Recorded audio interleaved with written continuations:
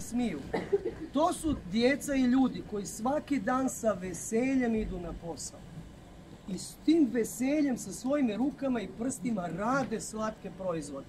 E vidite, zbog toga, kao i svaka osoba koja cijeni to što dobije plaću u Hrvatskoj, bi trebala biti sunce.